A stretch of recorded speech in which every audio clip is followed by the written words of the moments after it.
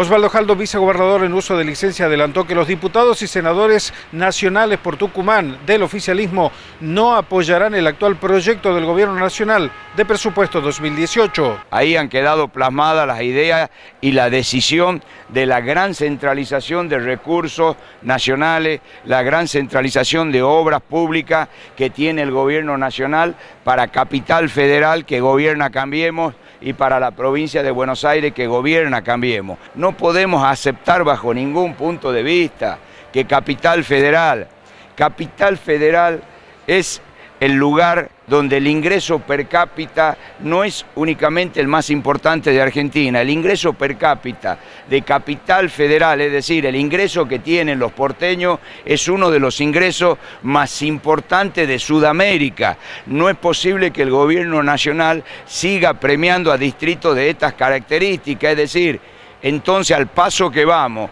el rico cada vez va a ser más rico en Argentina y el pobre va a ser cada vez más pobre. Si hay este tipo de asimetría en la distribución de las obras de infraestructura que necesita el norte para desarrollarse, que necesitan nuestras economías, si estas obras no la prevén el presupuesto nacional, que son obras millonarias, pregunto, cómo se va a desarrollar el norte argentino. Estamos dando instrucciones a nuestros legisladores nacionales que no acompañen el presupuesto si se vota antes del 10 de diciembre.